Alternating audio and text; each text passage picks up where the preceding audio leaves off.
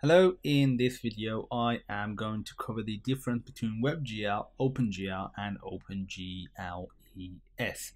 So WebGL, it is designed for rendering 2D and 3D graphics. So let me write WebGL here, WebGL and OpenGL like so.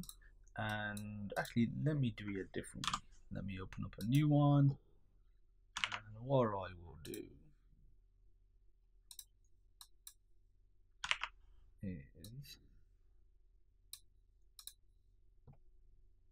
here we go. Okay, so there we go. The WebGL, the OpenGL, like so, and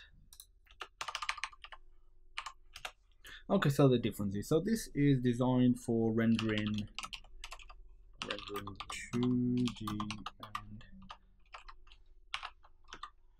3D graphics.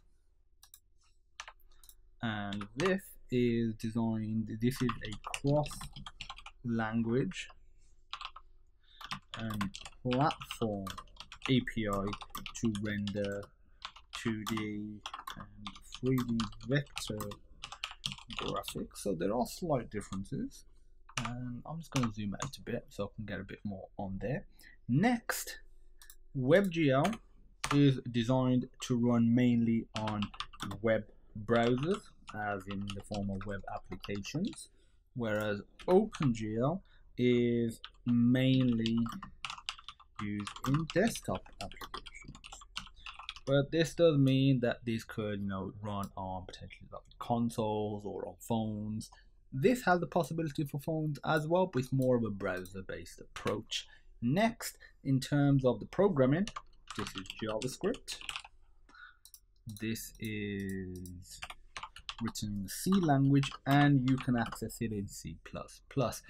Have even seen binding for Java as well, so it is very flexible. So I'm going to also put in brackets Java, you know, that it is possible for that as well. Next, in terms of feature set, less this has more and this is just because WebGL is a lot newer than OpenGL. OpenGL has been around for decades. WebGL, I mean a decade really. 2011, so you, you can see, you know, you, you can imagine OpenGL is gonna have more features. WebGL has no fixed function pipeline. It only has the modern programmable pipeline, which is for rendering and this does have the fixed function pipeline you know as well so it has the modern new programmable pipeline honestly i don't see that a disadvantage really you should know the newer programmable pipeline so this is more of a bonus than anything it just forces you to you know do modern good coding from the start and the main website is khronos.org forward slash webgl. So that's the official website. And the official website for this is opengl.org. And Khronos is the group behind both of these, just so you know. And yeah, that's really it. So WebGL is mainly for browsers. OpenGL needs native drivers and is more designed for software that you would install, you know, like a PC video game, for example. And WebGL, you can use it for games as well, but it's more web browser games that are built in that you don't have to install extra stuff.